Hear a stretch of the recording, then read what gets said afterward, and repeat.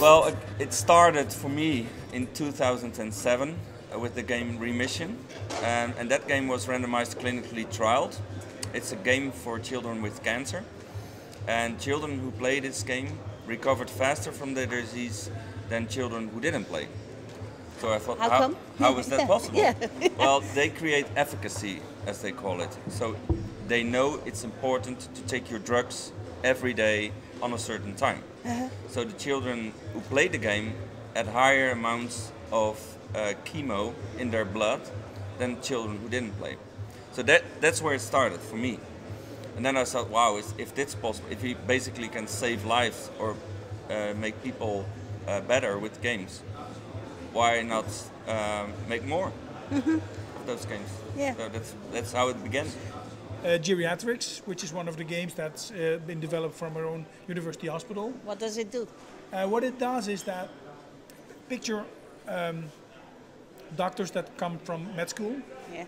and they are trained on anatomy, on every kind of disease you can imagine, but nobody talked ever about money. And here they are, ready to be a doctor, and suddenly everything also runs through money.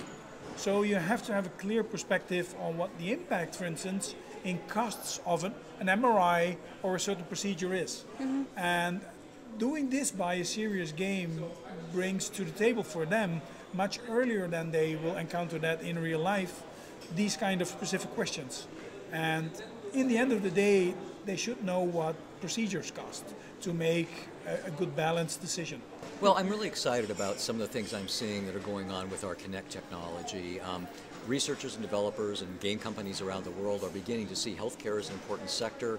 Uh, I've been working with some companies that are doing interesting things. For example, uh, one company focuses on helping surgeons or people who are working in the hospital and their hands aren't available or they're they're, they're uh, scrubbed into surgery uh, using the Kinect device to give them access to information on a screen like MRI or CT scans or other information about the patient as they operate without having to touch anything. That's important.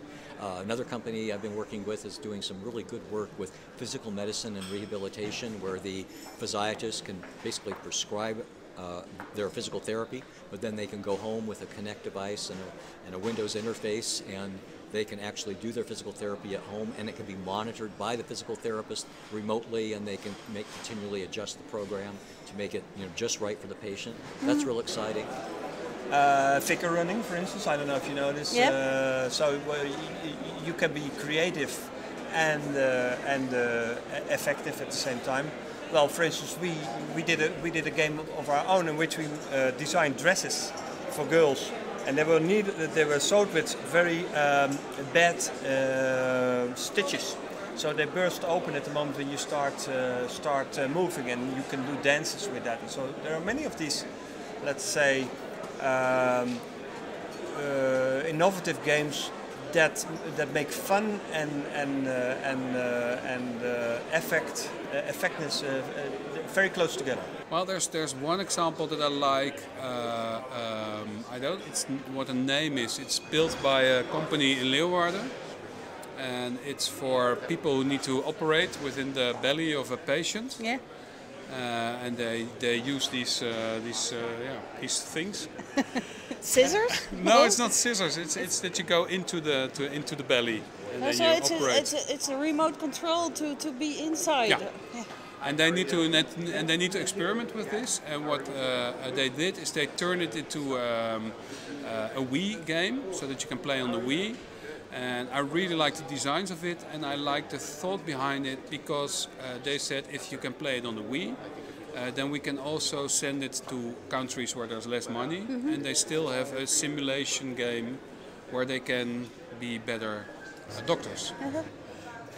Actually, I, I think the best application of using gaming and self-involvement. There, there are several several games that are out there um, um, that engage the person in setting goals and so on. Um, but if you take a look at Weight Watchers, the Weight Watchers program, and how they encourage you to monitor both your intake of food and uh, allow you to eat more if you exercise more. to me, while that is not strictly a game, it it has personal involvement in it, and the sense of responsibility and the desire to increase uh, the performance, all built into one unit. And uh, I've often thought that of the uh, of the well-being games that uh, or well-being activities, that Weight Watchers really is doing it right. And I think uh, uh, gaming uh, should be. Uh, we should start small with small solutions. And one of those solutions is, is here is, is the pillow project. Well, you've Mm-hmm. Yeah. probably seen it, Yeah. uh, where you press on a pillow to start a game.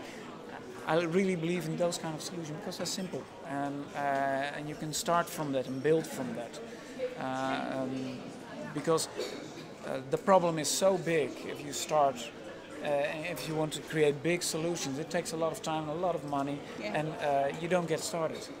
I, I think that uh, we'll continue to see better and better uh, uh, games and, and better and more original ideas. But one, o- one of the most obvious ones is, is, is uh, uh, the uh, obesitas games, where we want to try and prevent people from getting too fat.